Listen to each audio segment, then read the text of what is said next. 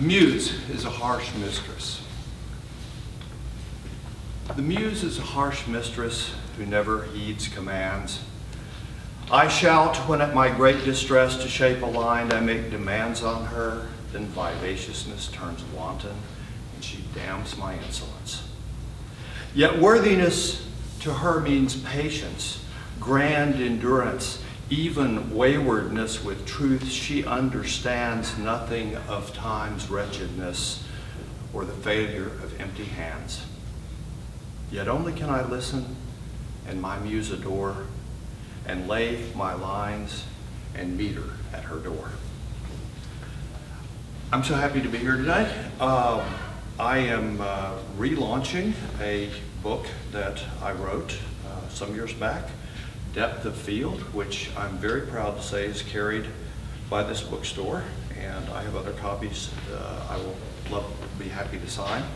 I'm going to read a few poems uh, out of that book and uh, some new poems because I've been I've been sort of reviving my poetry career after a hiatus of some years.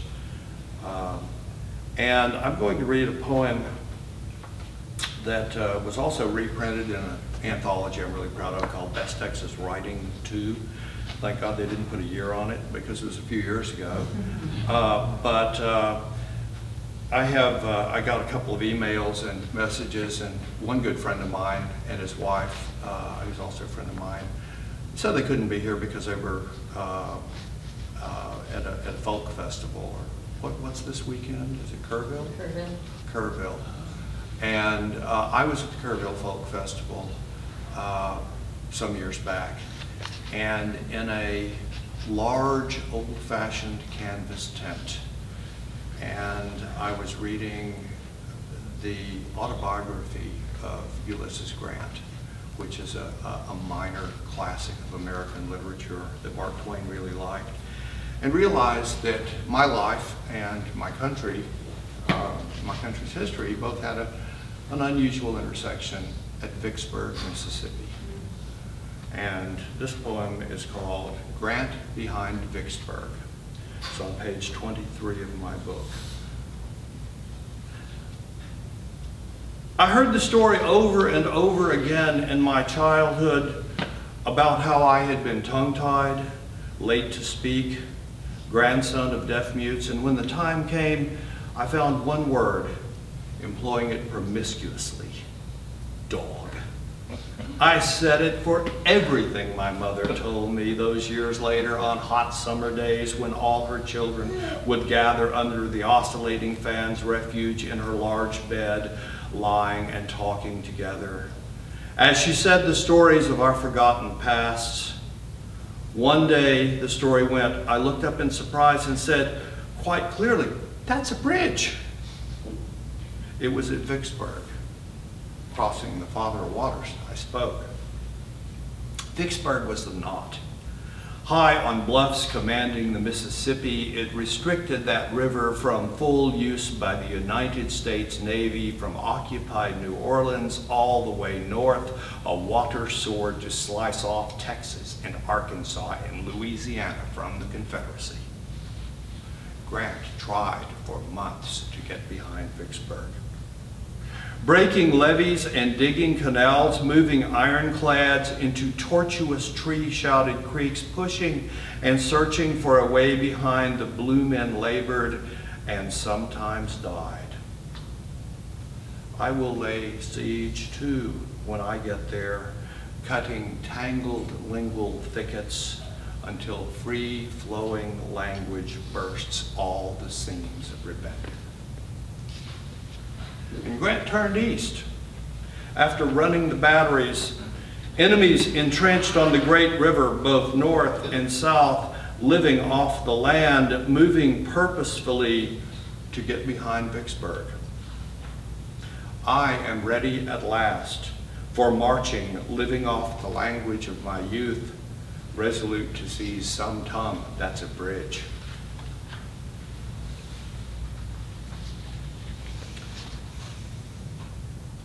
On page 27, I have a poem that I wrote I want to set the stage. If you can imagine a great, famous poet who's very old, who got early fame, and everybody knew his poems that he wrote in his 20s, love poems. And he's over 70 now.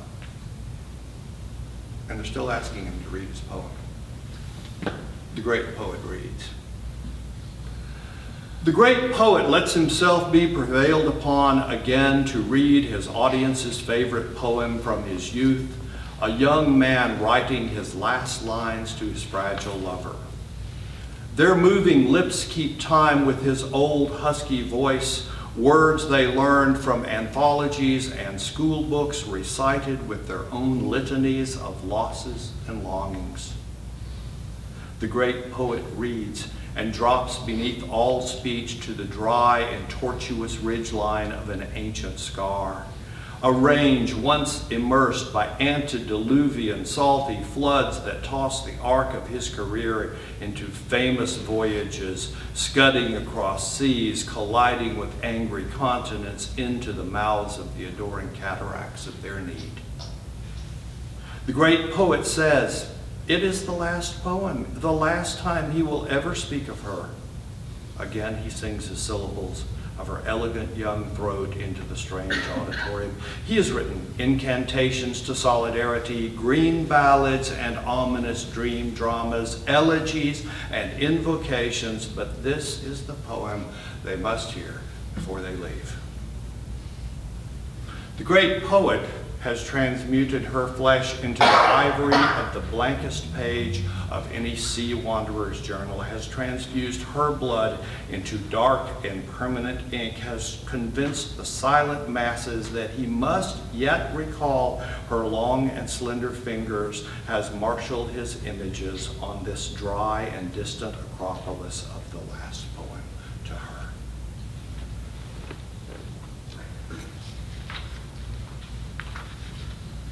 I uh, would really like to write a love poem now, but I'm having a hard time writing a love poem to my daughter. I love her very much. It's a real challenge, and I'm, I'm hoping that I, that I pull that off. But I did write this poem some years back, and it was actually addressed to my daughter. It was a different situation. It was about a student who had been, who told the truth and been forced to recant the truth by a very evil teacher, which led to a lot of uh, changes in my life, actually. led me to go to a better school. Um, but I wrote this to my daughter with images of my daughter, and it's dedicated for, to my daughter. Ethics at Bedtime. It's on page 21. When you rest your lovely head in dreams of ponies, butterflies, and princess towers, remember there are witches with the power to twist and gnarl your aims until you seem to lose your truth in daunting, haunting streams of lies and gaudy, rustling evil, evil flowers that devil dance, suborning you to cower negative, entranced, chrysalis in screams should you make yourself truth's butterfly and find the wings to bear you safe from harm, turn to me your dark and shining eyes, and I will give you cure for all the harm and maledictions through his heart. God's own truth and a fierce, fearless heart.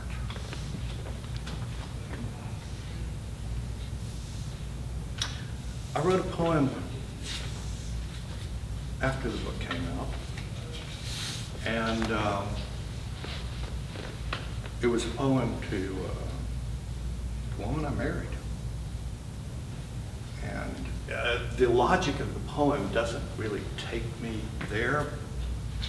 And it's a love poem, and it's more a reflective poem about being on the other side of an ocean and thinking someone, thinking about someone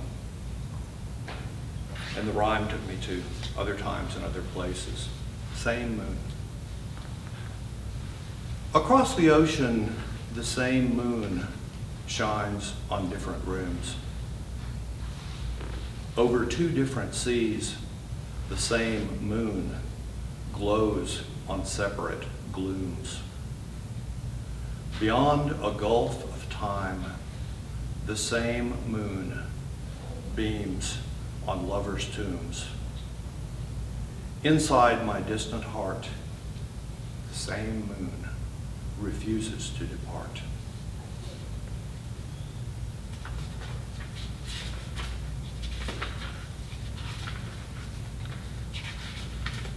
When I uh,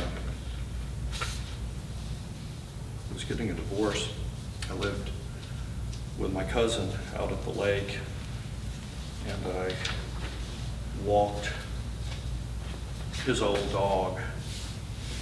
And we had some incidents, a couple times, just some aggressive young dogs. And um, so I wrote this, Walking an Old Dog.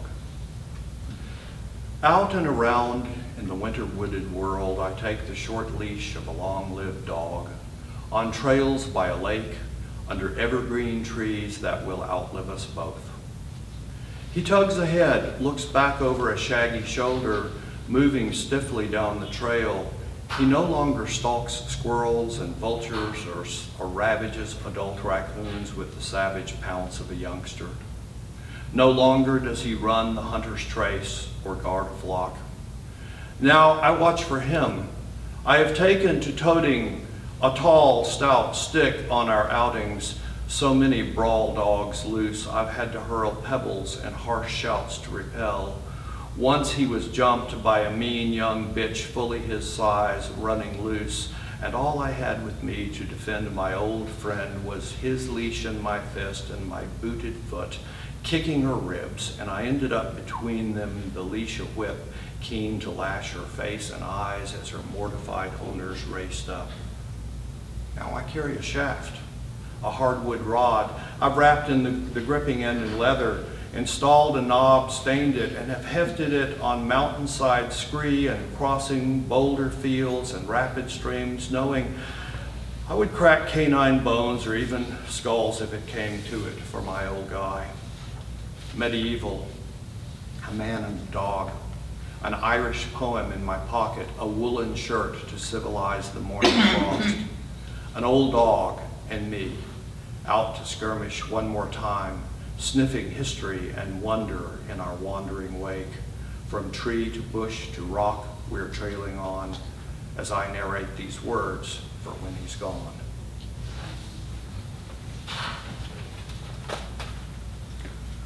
In the uh, 90s, I was part of a, a uh, listserv group that wrote about writing in our lives. And one of the members of the group uh, became very successful and has written a novel that's been highly reviewed. I didn't look on the shelf to see it's here but um, he's now the uh, photography editor for the New York Times, a teacher at Bard College, uh, has received PEN Awards, and a lot of national notoriety, and I'm, I'm, very proud that he's my friend. And he goes by the name Teju Cole, and uh, he was, uh, uh, he, I knew his other name, of course, and so I want to, I wrote this poem for my friend Teju Cole. It's called The Metamorphoses, and it starts with an epigraph by Derek Walcott. To change your language, you must change your life. Derek Walcott. Tag continents and cities, pivot and sprint, leaping forests and seas. To change your language, you must charge your life.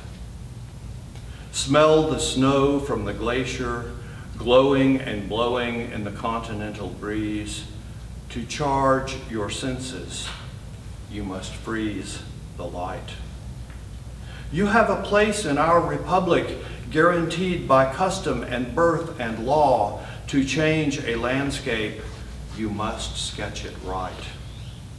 Tales of Greek and Yoruba goddesses, identity as an axiom, an unseen flaw, to change its logic, you must fool its flame. Old friend, I knew you before you were cool or even cold, as one wag says in a loving vein. To change your life, you must change your name. And I want to end with two poems that are very recent. And uh, uh, I'm going to do something that uh, Robert Bly does. I'm going to be an asshole. No, I mean, uh, sorry. He does it well. That, that, that was wrong gear. Let me reshift. Uh, but, but there is something that, that Bly will do that I think works uh, well with, with shorter poems. Uh, and that is to read them twice. And so I'm going to close with my last two poems, and I'm, I'm going to read them twice. Field of Stone. The rising and the setting sun throw shadows from a solitary stone standing in its lonely field. An erratic is a rock, alien from its surroundings, transported by ice or water. You were such. From the place of origin, tumbled and scored, it speaks mutely of age when the sun rises and sets. The time of rock is not the time of men who are as grass. Stones are solid and apart, progeny of deep time. You knew the worth of every word and phrase, every letter and character up to down and right to left. At the end, there were no friends. So I will plant a stone in a field for you, holding your shade to the rising sun. This is uh, an elegy for a former friend of mine. We've been estranged for years. His name was Kunio Ishida. Uh, I met him in grad school a very long time ago, and we were friends for at least a decade. And he was found dead in his condo last week, and nobody ever went to visit him. And um, apparently, he alienated all his friends and lived as a recluse, supporting himself as a translator. But we were once friends. Ishida in Japanese uh, means stone field, field of stone. The rising and the setting sun throw shadows from a solitary stone standing in its lonely field. An erratic is a rock, alien from its surroundings, transported by ice or water. You were such. From the place of origin, tumbled and scored, it speaks mutely of age when the sun rises and sets. The time of rock is not the time of men who are as grass Stones are solid and apart, progeny of deep time. You knew the worth of every word and phrase, every letter and character up and down, up to down and right to left. At the end, there were no friends, so I will plant a stone in a field for you, holding your shade to the rising sun.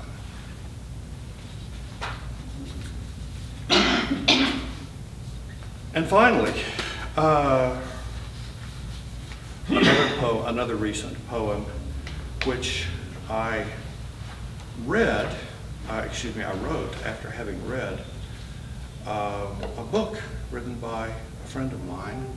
And I've been thinking about this poem for a while. But after reading Ken Fontenot's Just a Trace of Moon, which is available here in this bookstore, and being informed by Ken's very fine sensibility, I wrote the poem that I had been thinking about for a long time. And it's fairly short. Nostos. You always heard things would seem smaller, and they were. The old classroom, the house, the walk from school to home, the people, some of them, are larger in their failures. The pump jack keeps chugging away. Memory is lifted from a liquid